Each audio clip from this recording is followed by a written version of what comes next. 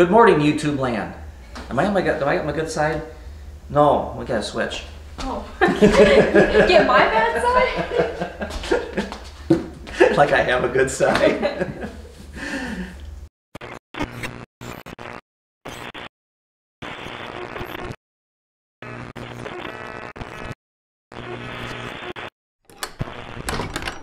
Good morning, YouTube land. Um, Clinton, Oval Window Racing, back out in the garage with Hubert and Emily. And uh, we're here and we're going to open up some New toys. New toys, yeah. Emily's bought her first um, tool for the garage whenever she gets her own garage. Oh, oh, that's right. Die grinder was number one. This is the second one. This is the major one, though. Yeah. And uh, since she went out and bought one, Harbor Freight, you know, of course, my favorite store, had a sale. So I decided, uh, I don't want to say upgrade, but get another jack for the garage. Um, I'll show you old Trusty here. This is old Trusty. I bought old Trusty so long ago, I don't even remember where I got it from. This is a three and a half ton jack, and uh, You've seen better days. yeah, I, I've, I've had this thing for forever. The ones we got from Harbor Freight are only one and a half tons, but if you do the math, that's 3,000 pounds. Hubert won't even weigh that when he's full of fuel and transmission and engine. Uh, he should probably come in close to what Simon is, 1,800 pounds. But yeah, this good old jack down here, I probably got it at Sam's Club when they first opened up in town, or Builder Square before they closed. and it's been a good jack, and man, I I'm trying to think back to back to back and how many cars I've lifted with it, but it's been several. I mean, the thing's 30 plus years old, and yeah, it's been it's been a good jack, and I ain't getting rid of it. I've got a couple more down here. These little home garage ones. Um, the red one, I don't know why I hang on to it. It's uh, don't even work. but the gray one, that's been another good jack. I think that was my very first jack when I first got Simon. And then we upgraded to the good old trusty. But yeah, we're uh, we're gonna open these things up, and have them we put one together, and then uh, probably try picking Hubert up with them. Um, yeah, so hold on. All right, Emily, get going. Let's see what it looks like. There's a lot of tape. Can we pick it up? Yeah. How heavy do you think it is? Let's see, let's see the muscles. Like All 15 right, pounds. probably. I've been working out. Yeah, aluminum a lot nicer than the old ton. when it says three and a half tons on the old trusty there, I'm kind of wondering if that's what the it weighs. Wait, more tape? There's more tape.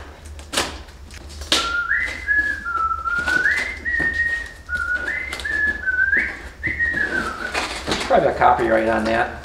A box is smarter than me. Yes, there's staples in it. yeah, but it's like. You just gotta take the tape off and it just slides right off. But of course, they tape it a bunch.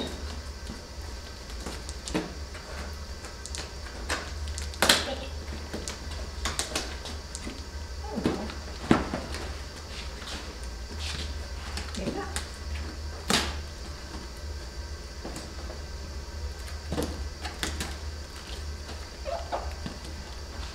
No, I probably should Someone say knife. Knife. That's so interesting. Here we go. All right. Another box opening. Ah. I'm guessing these go together. Yep. These are a Pittsburgh one and a half ton aluminum jack, low profile with rapid pump. Oh wow, it just clicks together. It's pretty. It is pretty. Oh, this is so. Here's your instructions or some other guy's opinion.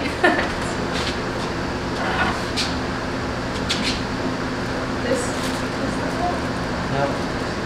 So You're.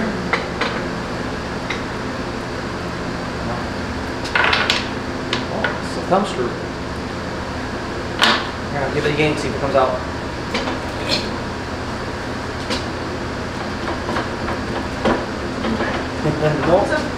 Nope. So, All right, you pick it up, go down the floor.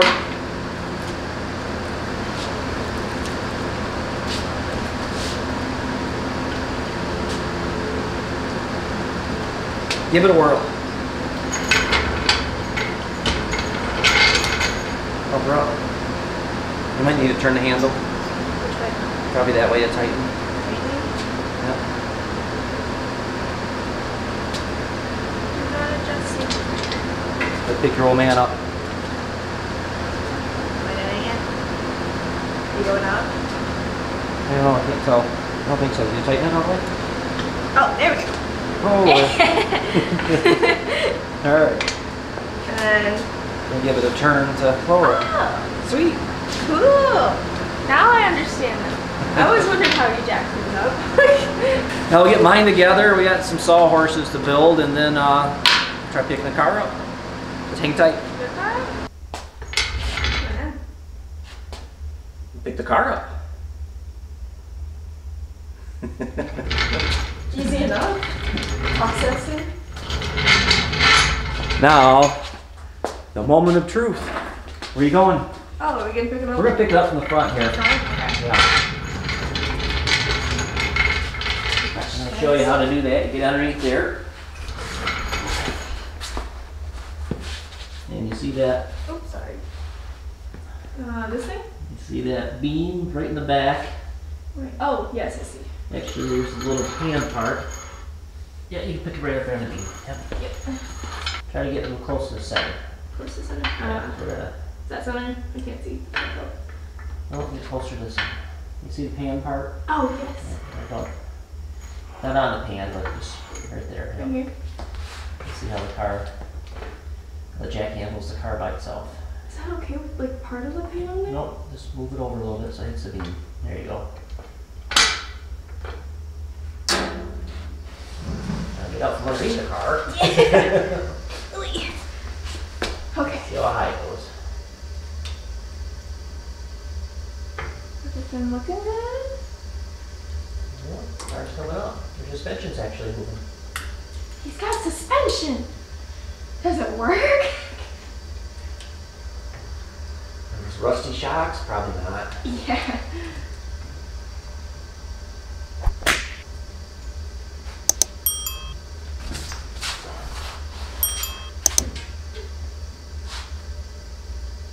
Should I just go all the way up?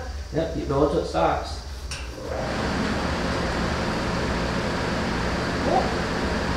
Got lift off.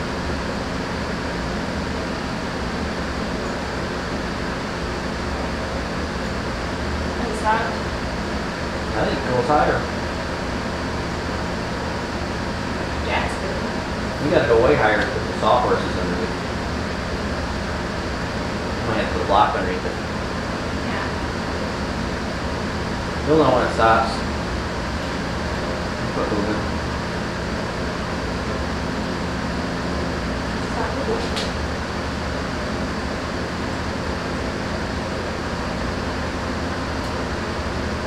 Probably about it. All right, that's as high as that stand's gonna pick that up.